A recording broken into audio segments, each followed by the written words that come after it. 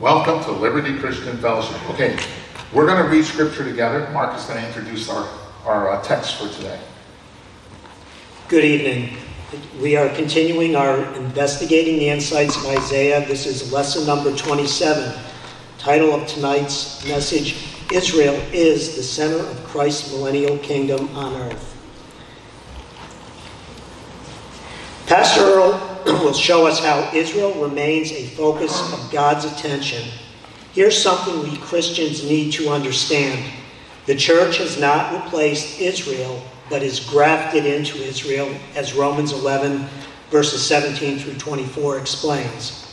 As Christians, we nonetheless should be encouraged because we too are children of Abraham and are grafted into the promises God will fulfill for Israel. As we read today's scripture slides, I'll read the slide headers and we'll read the passages together. Isaiah 60.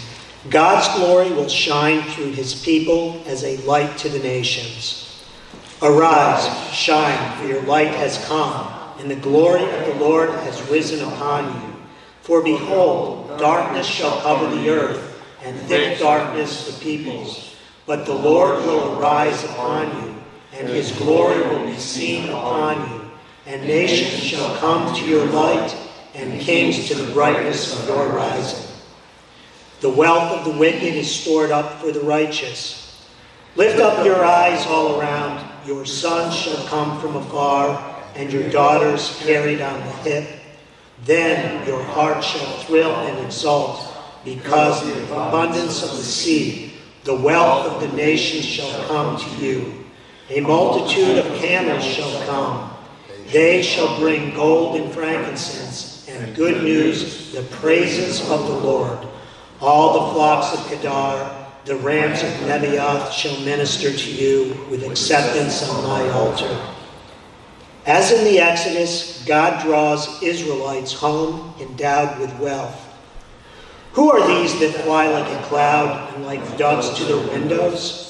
For the coastland shall hope for me, the ships of Tarshish first, to bring your children from afar, their silver and gold with them, for the name of the Lord your God, and for the Holy One of Israel, because he has made you beautiful. God's favor on Israel compels the nations to minister to them. Foreigners shall build up your walls, and their kings shall minister to you. For in my wrath I struck you, but in my favor I have had mercy on you. Your gates shall be open continually, day and night, that people may bring to you the wealth of the nations, with their kings led in procession. For the nation and kingdom that will not serve you shall perish. Those nations shall be utterly laid waste. Those who persecuted Israel shall serve Israel.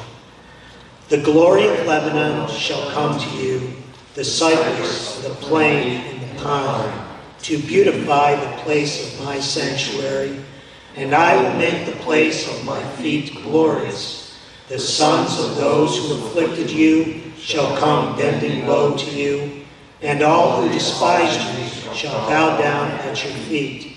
They shall call you the city of the Lord, the Zion of the Holy One of Israel.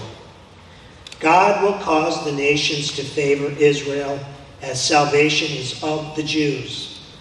Whereas you have been forsaken and hated, with no one passing through, I will make you majestic forever, a joy from age to age. You shall suck the milk of nations, you shall nurse at the breast of kings and you shall know that I, the Lord, and your Savior and your Redeemer, the mighty one of Jacob. God will bring Israel perpetual peace and prosperity. Instead of bronze, I will bring gold, and instead of iron, I will bring silver. Instead of wood, bronze, instead of stones, iron. I will make your overseers peace, and your taskmasters righteousness. Violence shall no more be heard in your land, devastation or destruction within your borders. You shall call your walls salvation and your gates praise. God will be Israel's everlasting light and glory. The Lord will be your everlasting light, and your God will be your glory. Your sun shall no more go down, nor your moon withdraw itself. For the Lord will be your everlasting light, and your days of mourning shall be ended. Your people shall all be righteous. They shall possess the land forever, the branch of my planting, the work of my hands, that I might be glorified. I am the Lord, in its time I will hasten it. Lord God, thank you for your amazing word. We turn this time over to you for your Holy Spirit to use Pastor Earl to speak your truth to us. Thank you for guiding him to mine the treasures of your word and understand the width and height and depth of your love for us. May your truths shine forth and fill our hearts. Please show us why you included these passages in your word. Show us how they reveal who you are and what we can be like because of who you are. We ask these things in Jesus' name, and all God's people say, Amen. All right, we're going to look at four things. In Isaiah 60, 1 through 3, we're going to see that God contrasts what it's like to walk in his light versus wallowing in darkness. Then in Isaiah 60, 12 through 18, we're going to see that those who bless Israel get blessed, those who curse Israel get cursed. Sounds like some promises out of Genesis and Numbers, doesn't it? We're going to circle back then and look at Isaiah 60 verses 4 through 11. We're going to see that God imposes judgment and he imputes righteousness. We're going to see finally that Jesus is Israel's and our anointed, everlasting liberator, light, and comforter. So, part one God contrasts what it's like walking in his light versus darkness. In Isaiah 60, verse 3, it says, Nations shall come to your light and kings to the brightness of your rising. Next slide. Isaiah 61 through 4, in Christ's millennial reign, Israel will be the focal point of God's light. Now, this, these passages are talking about Israel in the millennial kingdom. A lot of churches are saying that the, uh, that, um, the church has replaced Israel. This Bible passage is talking about Israel. I'm going to explain how Israel will get grace and mercy for that to happen, just like we got grace and mercy to be in Christ. Actually, what's really going to happen is the nations are going to be drawn to God's light, which will shine through Israel. Jesus belonged to what nation? What tribe and group of people? Judah. He was the tribe of Judah, which, was, which, which means he was an Israelite. So salvation is of the Jews. Another way to understand this is that Israel is the focal point of God's light. Now, you're going to have some blanks on your page. The blanks are going to correspond to the blue words up on this screen. You don't have to use those words if you don't want. It's a free country. Put in any words you want. But these are the words I would use. So the Bible says, arise, which means stand up. Be accounted. Which really, which really means allow the light of God's glory to illuminate through us. For your light has come, and the glory of the Lord has risen upon you, and nations shall come to your light, and kings to the brightness of your rising. How many conversations have we been in this week where the Holy Spirit might have said, Arise, stand up, say something? Light is a symbol of God's presence. If you have God's presence with you, tends to mean that you have his favor. He's shining through us, upon us, and through us. Of course, there are times when we have God's presence and he disciplines us as well. So in Christ's millennial kingdom on earth, which I'm going to call the Shimoki, the CMKOE, Christ's millennial kingdom on earth. I'm going to give you some fillings on that next week. I like making up these things. Israel will enjoy a position of favor and grace. To shine with glory means that what emanates from us is the honorable representation of God. Some people say, well, I just want to glorify Jesus. And I'm like, we only use like one tenth of the Bible, man. You better, I don't know if you're making a quite an honest, an honorable representation of how God reveals himself consistently from Genesis to Revelation. So Israel will experience the grace to operate in God's glory. The Bible says in Ephesians uh, 2 8 through 9 through 10, For grace you have been saved through faith. This is not of your own doing, it is the gift of God, not a result of works so that no one can boast. Has Israel ever been able to keep the law? Not even the ceremonial law, let alone the, the moral law, the, the eternal moral law, the Ten Commandments. All right, have you been able to keep, or me, have any of us been able to keep the ceremonial law, the Ten Commandments? I mean, the, the eternal moral law, the Ten Commandments? No. How can we be in Christ? We got grace. Do you think God cannot give the same grace to Israel? For we are his workmanship, created in Christ Jesus for good works, which God prepared beforehand that they should walk in them. In the millennial kingdom, we're looking at what Israel is going to be walking in, which God has prepared beforehand through the prophet of He's announced it through the prophet Isaiah. So Israel's hardening is partial, and it's dispensational, meaning that the hardening will only last for a time until the time of the Gentiles is fulfilled when I was learning to be a, a, preacher, a pastor, another preacher told me, goes, my college professor told me to never talk about anything that has anything to do with dispensations. I said, well, I don't know, 60% of the Bible is the Old Testament, so I guess that you're only going to be preaching 40%. But there's some dispensation in that too, so maybe it'll be a little bit less. Yet you will claim, I believe the whole Word of God. You know what the church is in love with? The church is in love with the love of God. I don't think they're in love with the God of the Bible. Anyway, look at Romans 11, 25 through 27. Lest you be wise in your own sight, I do not want you to be unaware of this mystery. It's hard to figure out. Gotta have some grace, Holy Spirit's anointing to figure this out. A par- brothers, a partial hardening has come upon Israel. It says a partial hardening until the fullness of the Gentiles has come in. You know why it's partial? Every church I've ever been in, there's been um, Messianic Jews. Every church I've ever been in, there are Jewish people that believe in Jesus. So the hard thing is partial. And verse 26, and in this way all Israel will be saved, as it is written. The Bible is written in past tense. Jesus Christ died for us in the past. It's we're, we're walking in it now. We're getting the fruit of it now. We're going to actually get the fulfillment of it in the future. But what happens is Jesus Christ, when we blow it, he doesn't jump down from the cross and go, you know what, dude? You just screwed up. I just done died for you. No, it's all written in past tense.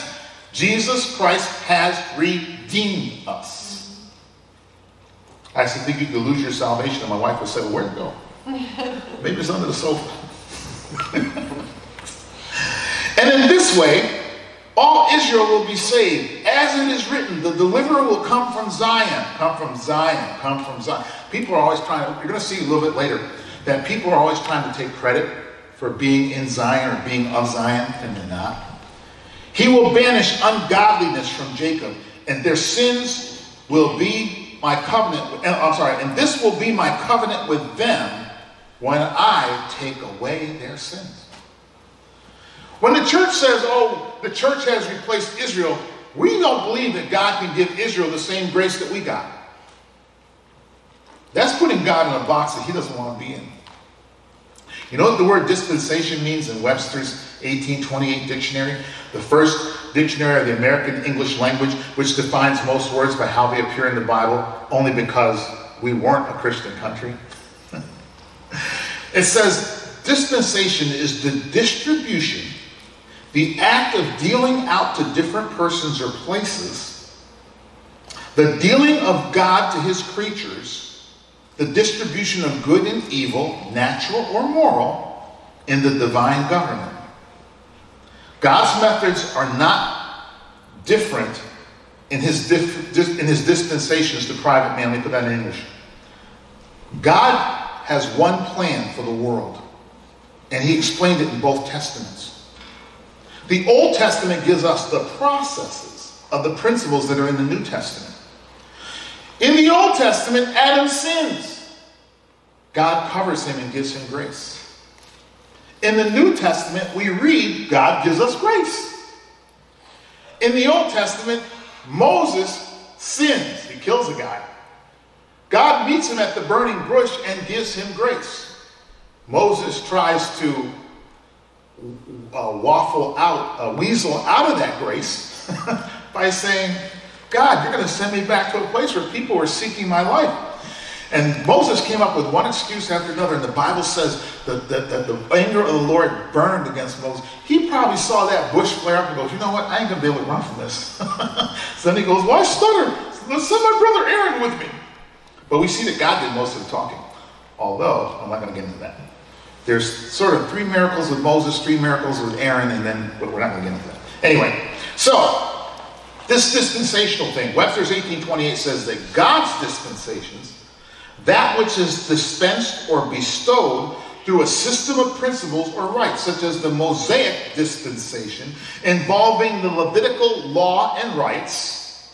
And then there's the gospel dispensation, provided through the redemptive sacrifice of Christ. Now, God is the same yesterday, today, and forever. So in the Old Testament, God says, okay, you're a leper. And um, in, in, the early book of Luke, we see that God heals these lepers. And so the, the, the, Jesus tells the lepers, go show yourself to the priest. And what would the, le- the priest do in Leviticus chapter 14 to the lepers? Well, the priests have to take two birds. They got to kill one bird under living or running water. And they got to mix that little bird's blood with the water because they got to sprinkle the guy for eight days. Not enough blood in the little bird to last for eight days. But we're washed by the water and the word. We're washed by the blood.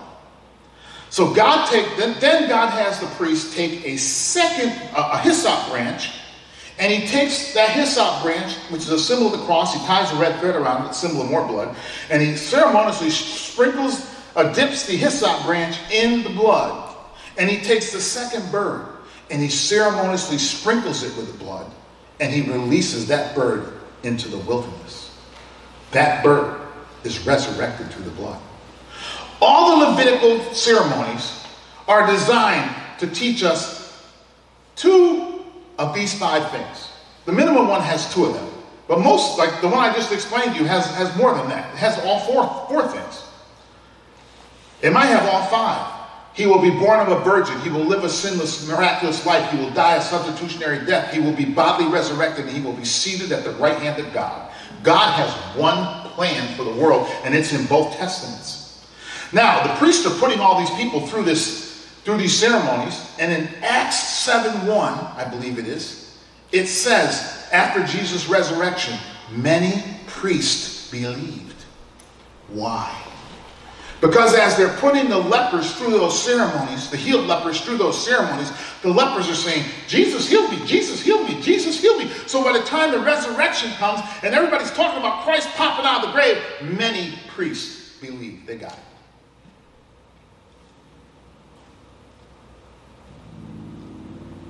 The Bible says in Romans 11, 28 through 32, as regards the gospel, Speaking of the Israelites, they are enemies for your sake. But as regards election, I was elected. Why can't God elect Israel when he so chooses? As regards to election, they are beloved for the sake of their forefathers, the patriarchs, Abraham, Isaac, and Jacob. God is being faithful to them because he's keeping his promises to Abraham, Isaac, and Jacob. None of whom were perfect, by the way. They all failed, and they got grace. For the gifts and callings of God are irrevocable. For just as you were at one time disobedient to God, but now you have received mercy because of their disobedience, so too now they have now been disobedient in order that by the mercy shown to you, they may now receive mercy. God can give. Why can't God can do what He wants to do when He wants to do it? He can give Israel mercy and grace, just like He gave us mercy and grace. First time somebody told me about Christ, well, for the first twelve times, I ran my mouth and thought I knew something that I didn't know. For God, verse 32, has confined, has consigned all to disobedience that he may have mercy on all. And that means everybody's got to come by grace. Next slide. So, without God's light, we are wallowing in darkness. Now, this word darkness means that you are in obscurity. You are in spiritually unintelligible ignorance. You ever talk to a sinner and say, dude, you're just acting spiritually unintelligibly ignorant? you better shut up and get right with God while you have the chance. It says that this obscurity will cover the earth and thick darkness the peoples, but the Lord will arise on you, his people, and his glory will be seen by you. That's why the nations are going to be, it's like a moth on a cold night. It's drawn to the light. They associate the light with warmth. Now, if you are in spiritually in unintelligible ignorance, answer this question. Does that mean you can't discern God because you are blinded? What do we sing in Amazing Grace? I once was blind, but now I see. Do I see because I'm such a great guy? Or you're such a great girl? You're going to go to heaven one day and go, God, this is me. Let me in. You know me. No. We're going to fall on our face on the floor and say, Jesus Christ died for my sins. I once was blind. I had no discernment, but he had mercy on me so I could see. Doesn't mean you're trapped in a negative attitude that is like, you know, the, the, attitude of Genesis 6 5, where God looked down right before the flood and he saw that the wickedness of man was great in the earth and that every intention of every thought of his heart was only evil continually. I like to say it this way that God looked down from heaven and he saw that every intention of man's heart was evil all the time. What are they telling kids in school? What's in the library reading to our children? I got some plans for the next time there's a library reading near us. The way out, if, if we're in spiritually ignorant blindness, if we're in this, if we're in this obscure, spiritually unintelligible ignorance, is this true or false? The only way out is to plead with God to have mercy so that His grace, God's riches at Christ's expense, will elect me for salvation. Ephesians 2 8 through 9, you got to be saved by grace.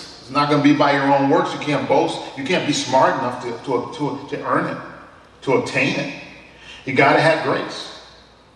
If God is going to use us to, to, to, to, shed, shine his light such a time as this, we got to say, God, you know what I am like.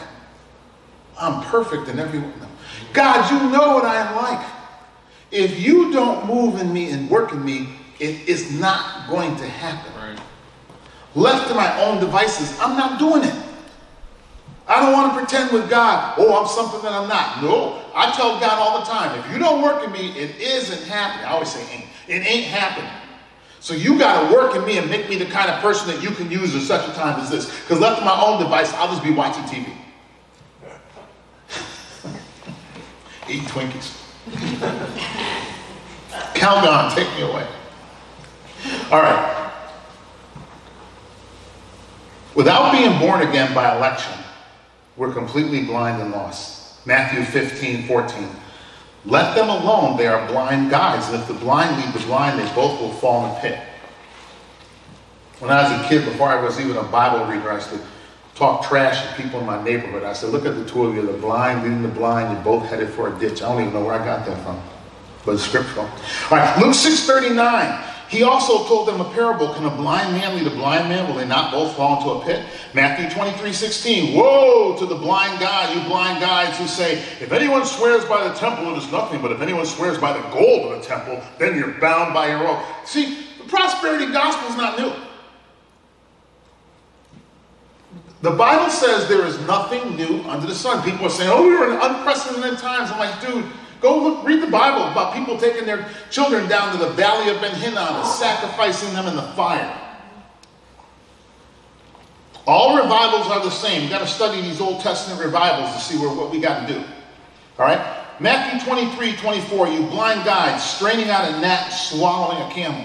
Matthew 23, 26, you blind Pharisees, first clean the inside of the cup and the plate, that the outside may also be clean. We saw this a couple weeks ago with the woman at the well. If she didn't overcome her spiritual adultery, she has no hope of overcoming her physical adultery.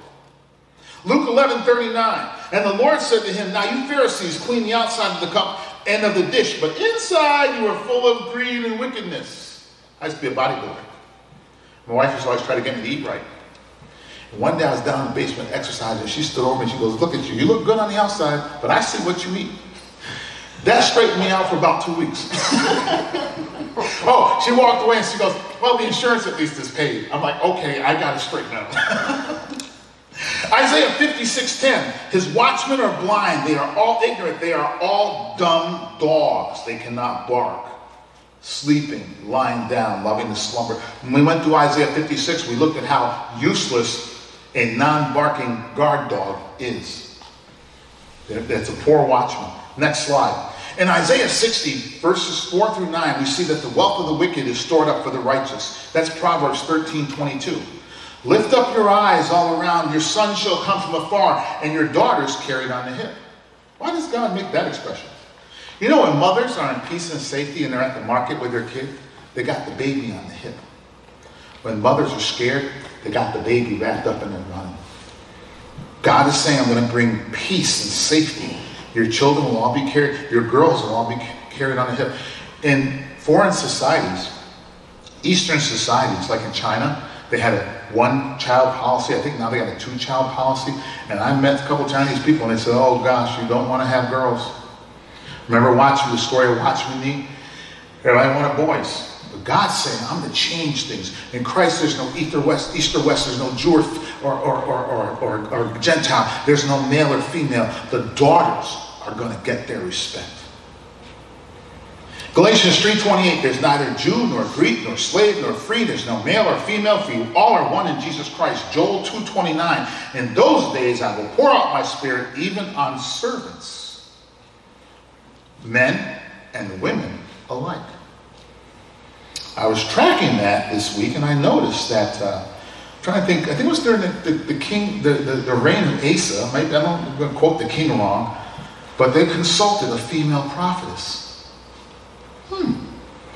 Now, I say that to many people, and they'll say, well, that must have been there's no man, qualified man. I said, the Bible didn't say that. When the Bible calls, when the Bible says that Deborah is judging Israel at that time, it doesn't say, well, there was no qualified man, so Deborah was. I said, stop putting words in God's mouth.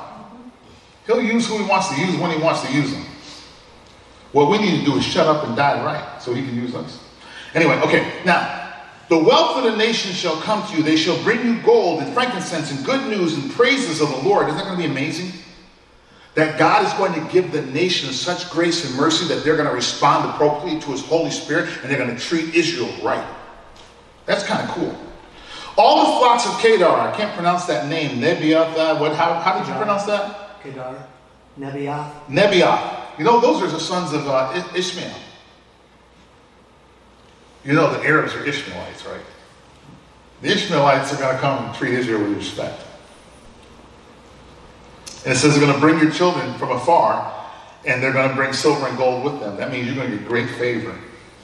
So we need, whenever God's calling me to do something, I say, God, give me favor. Because if I stand in my own strength, nothing's going to happen. Well, it might not be that good, but I'm, I'm looking to you for favor. Look at this, Proverbs 13, 22. A good man leaves an inheritance to his children's children, but the wealth of the sinner is stored up for the right, for the, the wealth of the sinner is stored up for the righteous. Continuing this theme in Isaiah 60, 10 through 12, God says, Foreigners shall build up your walls, talking to Israel, and their kings shall minister to you. For in my wrath I struck you we, I'm going to put up some, I'm going, to, I'm going to go back to my maps in a couple of weeks and show you how God struck Israel, had them dragged off to Assyria, had them dragged off to Babylon because they idol worshipped. Idol worship is not people. Anybody know anybody that prays to their car? You know anybody that prays to their car? Anybody that prays to their house? I've been in some fabulous houses. I've been on four continents. I've been on some nice, pretty nice boats. I don't know one person that prays to their oh boat. You're my, you're my savior. I don't know anybody that does that. I know that they pray to Allah. I know that they pray to Mary. They pray to Peter and St. Christopher and St. this one and Matthew, and they pray, and they pray to the, the angels. That's the idols God is talking about. And the church has, we have, we have failed to help our nation and our world stay righteous with God because we have taken Ten Commandments number one and Ten Commandments number two most for granted. I'm a former English teacher. Whatever's in front Whatever's mentioned first is the most important that's the theme that runs through everything else. If you don't know who God is, Ten Commandment number one, and you think he's something else, Ten Commandment number two, you can't even get saved. Anyway, let's go on. Next slide. Now, in, in, in, Isaiah 16, 60, 12 to 18, we see that God fulfills his promise to Israel from Genesis chapter, beginning in Genesis chapter 12. Those who bless thee, I will bless. Those who curse thee, I will curse. But God is love. He's love, love, love, love, love, love. Yeah, God is love. He loves Israel. So mess, you mess with what he says he loves, he's going to curse you. He's not going to let that mess in his heaven because he wants to bless us. He wants to love us in heaven. He doesn't want to be dealing with your unsaved, unregenerated mess in his kingdom. He loves you, but he will send you to hell. He loved Israel, but he dragged you off to bondage. He loved America. He had us ragtag people defeat the greatest power on the face of the earth. But we have let go of what God gave us. We have failed to hold on to our Puritan heritage, and now we're getting judged. We're getting cursed. Go read Deuteronomy chapter 28. Verse 15 verses read like what America used to be like. The next almost 60 verses, 50 some odd verses read like what we're getting now. We can repent. Stop, drop, and roll. Put the fire out. Come back to God. All right, next slide. So, oh, wait a minute. Oh, I got to do this people group thing. This is pretty cool. In Genesis 12, 3, the Bible says to, to Abraham, through you all the nations of the, of the uh, of the, all the families of the earth will be blessed. Isn't that a cool statement? All the families of the earth. Every tribe, every nation, every tongue. We look at Revelation 5 9 and 7 9. It says, You were, who were slain by the blood, you ransom people of God from every tribe and language and people and nation. I don't care who you are. I know that your parents made a terrible mistake by bringing you to the mosque or bring you to the Jewish temple, or bringing you to the Catholic. I don't care who you are. You can come out of that. Revelation 7 9, behold, a great multitude that no one could number from every nation, from all the tribes and peoples and languages, standing before the throne and before the Lamb, clothed in white robes with palm branches in their hands. You know what?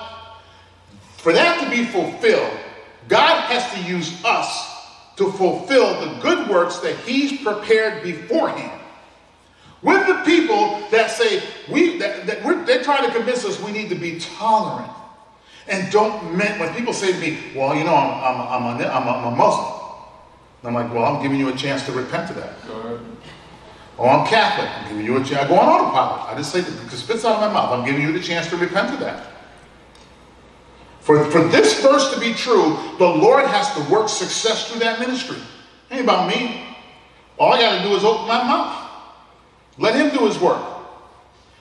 Our challenge is we keep tolerating what won't tolerate Christ. Be done with that. Next slide. Now, God's God makes these promises to Israel because he's safeguarding the people through whom his salvation will come.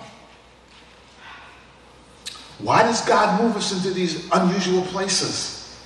How do we get in and out alive? God is safeguarding the people through whom his salvation will come.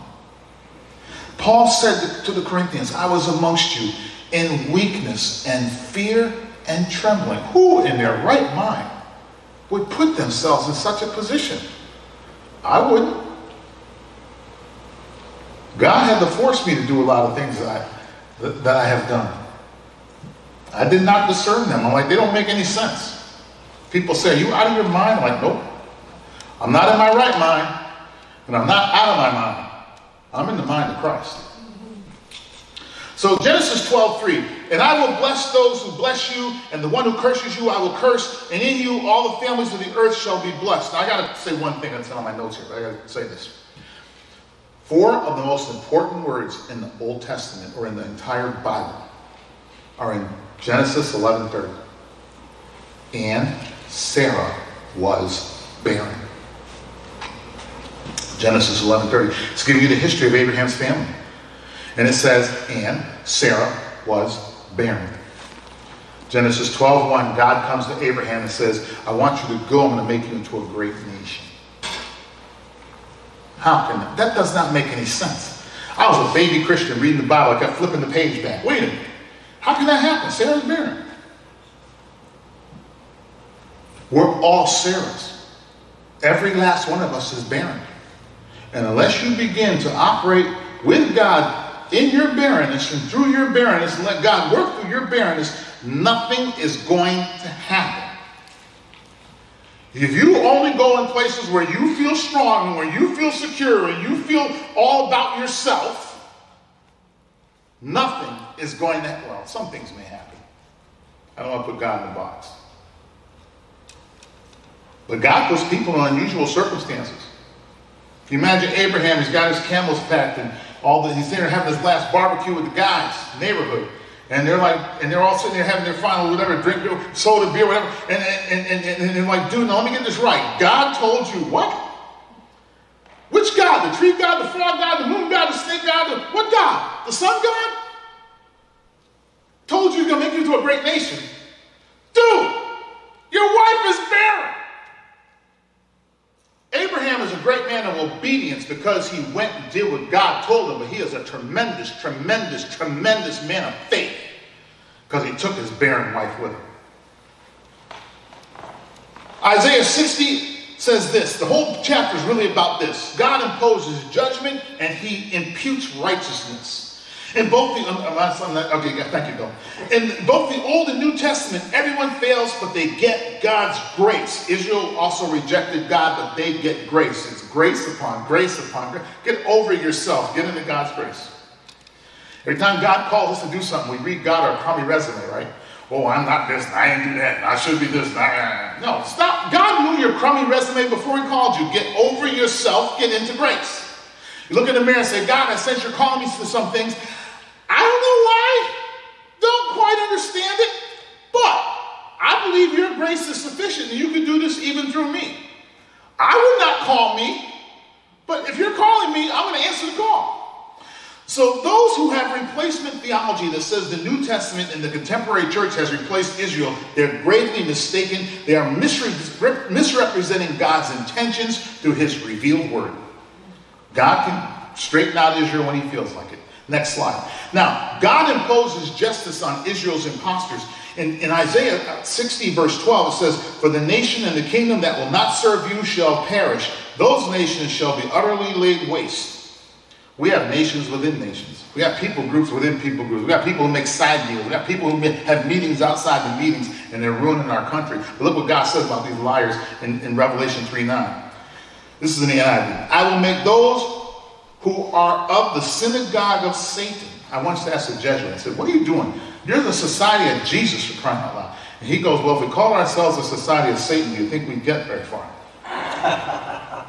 Revelation 3 9. I will make those who are of the synagogue of Satan who claim, that means they make a non committal affirmation. Oh, I'm a Zionist. But they're not committing to God. Well, I'm a Zionist. They're not committing to the Bible. They're liars. They speak falsely to deceive people, to deceive us. And God says that of, the, of these people making these non-committal, claiming these non-committal fraudulent rights, who claim to be Jews but are not. That's what people always call us. The Jews are doing this. The Jews say, you better read your Bible, dude. I'm not saying all Israelites are perfect. No, they're sinners. I'm going to hell. But you have to be discerning. There are a lot of people that are running around, the Reds, the Roosevelts, the Rothschilds. These people, the Red, they all name themselves after hairy red guy Esau. Trying to blame everything, all their mess on the Jews. God says they are those who call themselves Jews, but they are not. They make this fraudulent claim, I will make them come and bow down at your feet, speaking to Israel, and acknowledge that I have loved you. They are not Israel. You with me? Let's go to the next slide. I only got two or three more. Well, I got five more, really. We're going to read some scripture. We're, going to be done by 8 o'clock. Isaiah 60, verses 17 through 18. God will bring Israel perpetual peace and prosperity. Instead of bronze, I will bring gold. Instead of iron, I will bring silver. Instead of wood, bronze. Instead of stones, iron. What? It keeps repeating. Like some, first it's iron and a stone. He's bringing, he's taking. What's that all about? I will make your overseers peace and your taskmasters righteousness. Violence shall no more be heard in your land, devastation or destruction within your borders. You shall call your walls salvation. And that means a victorious deliverance. And your gates will be called praise. You know the word Judah means praise, adoration. So God will give Israel grace to finally get some decent overseers and taskmasters. God, please give America grace so we can get some of those decent overseers and taskmasters in our government. You know, in Egypt, Israel had taskmasters and overseers that said, Oh, so Moses wants you to go out into the wilderness and worship God? You're not getting any more brick, uh, straw to make brick. Go find your own straw and you better keep up your quota of bricks. How's that for a taskmaster? The Bible says in Psalm 23, 22, 3, in the King James Version of the Bible, and the, the American Standard, not the New American Standard, the ASV, I think is 1901. It says, But thou art holy, O thou that inhabitest the praises of Israel. God inhabits the praise of his people. The Bible says, Give thanks for all things. Not all things are good, in my opinion. But the Bible says, give thanks for all things. Why? Because if you don't, you'll stop walking in the way God wants you to walk through that mess. There's a godly way to go through everything. And the first step is praise. All right, now listen. All other translations say that God is enthroned on the praises of Israel. I like to think of it as he inhabits the praise. All right, now the concept that God inhabits the praise, or that he's enthroned, is, is a reference to the cherubim in the ark of the Ark of the Covenant. In Ellicott's commentary for English readers, it says the ever-ascending praises of his people become a throne for the divine king, and they take the place of the outstretched wings of the, of the cherubim. See, this is where the church keeps getting these things like, well, well the church has replaced Israel. Eh. God will call Israel to praise him when it's time. I got a whole bunch of Bible verses on that, but I'm going to move on. Now let me say this about this, this whole thing. Remember we read where God says, I will, I will bring you iron, and then I'll bring you gold, then I'll bring you silver instead of wood, I'll bring you bronze instead of this. all right, here's what that means in verse 17 of chapter 60. It means that um, the articles of blessing, and God says, I will bring you the articles of blessing versus the implements of war. Um, instead of bronze, which is a really strong material for weaponry, I'm going to bring gold. Instead of iron, I'll bring silver. And then God switches it up and says, I will bring you sturdier building materials too. Instead of wood, I will bring you bronze. Instead of stones, I will bring you iron. It's all about the intention of the people who are bringing it. Let's go to the next slide. Now, in Isaiah 60, 19 through 22, Jesus is Israel's anointed, everlasting liberator, light, and comforter, and he's ours too. Just because he's ours doesn't mean he's forgotten them. I don't understand how people can take the whole chapter Romans 11 out of the Bible and just like say these things. The church has replaced Israel. You know why? Because we're in love with prosperity. We're in love with the blessings. We want to claim Israel's blessings. Lady called me up yesterday. She said, I went to two churches past two Sundays. In one church, the pastor's wife stood up and she's saying, I'm in love with money. And money is in love with me.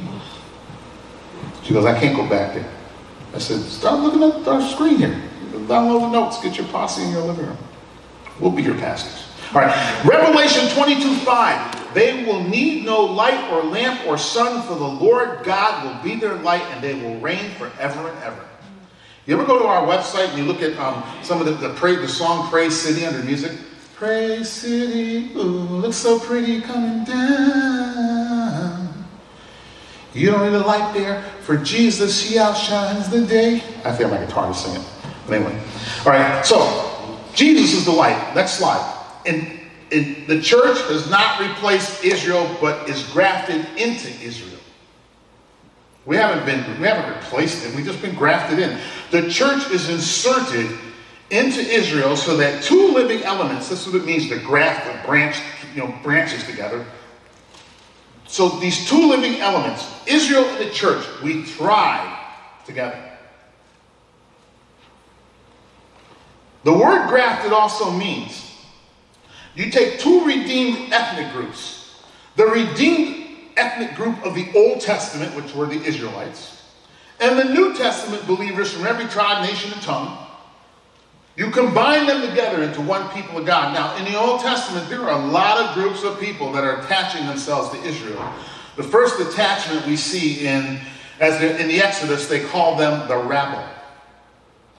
A bunch of Egyptians and people who were enslaved in Egypt and all these tribes, they, they, they attach, these people attach themselves to Israel and they go out into the desert and call them the rabble. That's kind of bad news for Israel. Hey, then you got Rahab. Rahab becomes a rehab. Israel's going to knock down the walls of, God's going to knock down the walls of Jericho. And he tells the Israelites, you go and send two spies. And they say, okay, we're going to spy out the land. The spies do nothing that's related to the battle plan. God didn't send those spies to go scope out the land. He sent those spies to get Rahab so she could become in the bloodline of Jesus Christ.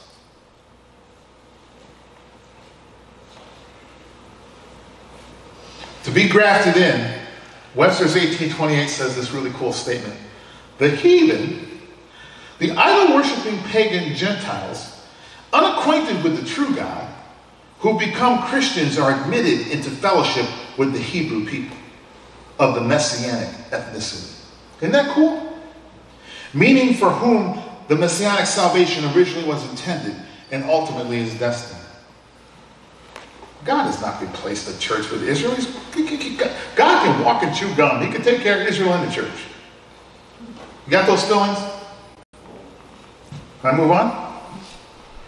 I can't trust Speedy over here. Anybody else still lagging? just kidding. All right. we're, gonna, we're, we're just about done. Isaiah 60, verses 19 through 22, both Israel and the church benefit from salvation. They benefit from being grafted in by grace so that they, we get and they get God's perpetual light. Verse 19, the Lord will be your everlasting light, and your God will be your glory. Your sun shall, shall no more go down, nor your moon withdraw itself, for the Lord will be your everlasting light. You don't need a light there, for Jesus, he outshines the day. I still can't sing. All right, now, look at the three things that happen if we participate in God's grace. You get perpetual light.